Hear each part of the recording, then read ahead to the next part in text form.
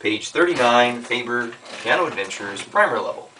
This song is called Best Friends. In this song, we'll be playing right hand and left hand together. Let's find out what position we'll be playing in.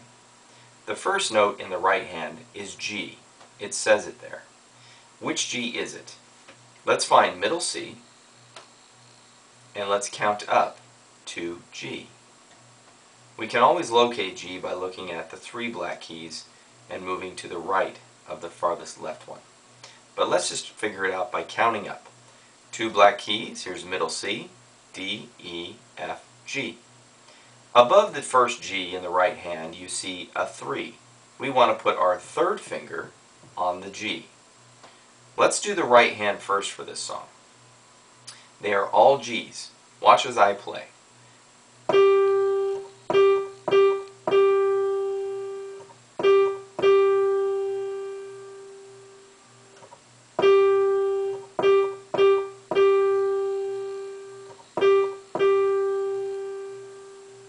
It's that easy.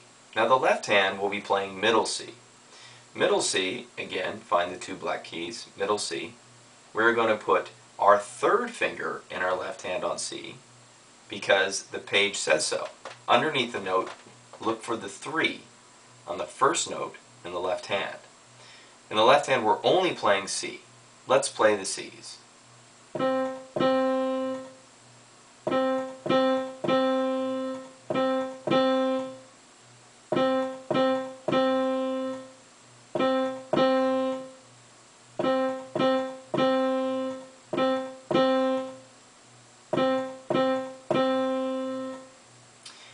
Now let's put them together.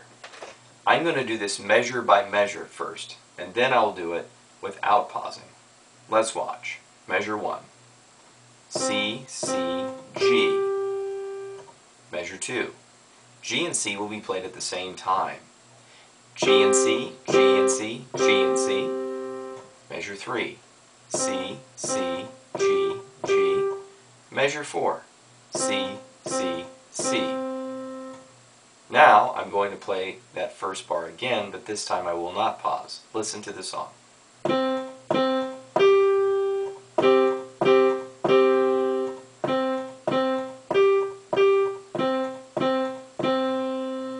Make sure you hold your half notes for two seconds.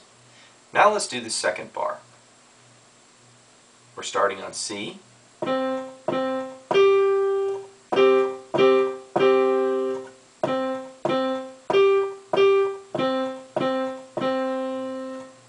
that sound the same as the first bar?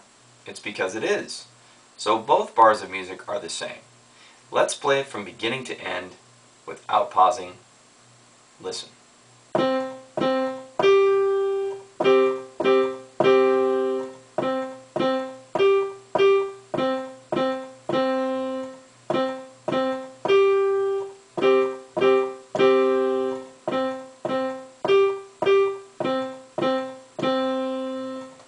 Now sometimes it probably sounds like I'm pausing, but I'm not.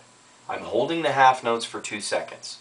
Make sure you hold your half notes for two seconds. This concludes Best Friends.